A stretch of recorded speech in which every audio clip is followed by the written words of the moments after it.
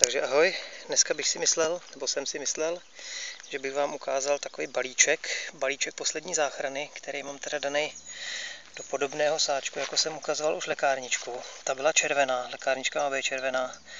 A z maratonu Autokrál Šumavy v roce 2010 jsme dostali ještě taky modré lekárničky, což jsem trošku pozměnil, takže místo lekárničky jsem vlastně udělal takový balíček poslední záchrany který vám teďka ukážu, co v něm mám. Vozíme to na delší cesty a je to teda takovýhle balíček, kde mám, mám tady čaj, mám tady nějaké sladké bombóny, mám tady takovou tu klasickou sušenku ke kafi, tady mám antiperle, další čaj, další tu sušenku. Jsou to všechno maličkosti, které se do té brašničky vešly. Mám tady med, květový med na slazení čaje, ty mám dva. Mám tady potom klasický cukr v pytlíčku a mám tady takovouhle sušenku banánovo eh, kokosovou, která je v čokoládě, je to taková jako energie rychle dodaná do těla. A na té druhé straně se podíváme, tak tady mám brousky, papírové kapesníčky, mám tady sušenky Oreo, mám tady jednu energetickou žvíkačku. Max, Maximum, mám tady dětské žerky, to je maso, které je méně slané než je to krůtí a je méně slané než klasické, takže pro děti je určitě lepší než to velké klasické dospělácké.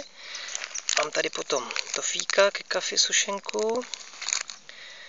A mám tady jednu hráškovou polévku v sáčku, která je do hrnečku.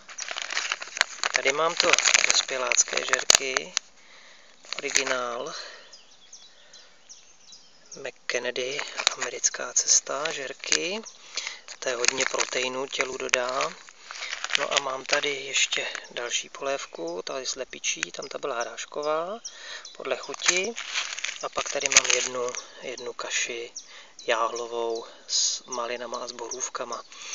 Jsou to všechno takové věci, které když potom jsme na čundru a náhodou dostane někdo chuť na sladký, nebo má hlad, nebo má nedostatek energie, nebo se potřebuje zahřát, tak čaje, oslazení čaje, Tady to žerky, to, jak tohle to dospělácký, tak i to dětský se dá v podstatě nakrájet do polévky, nebo se dá dát do kaše, nebo se dá dát do takových věcí, co se, nebo na chleba s máslem, když je potřeba, se dá použít, hodně dodá energie, i když je ho malý kousíček.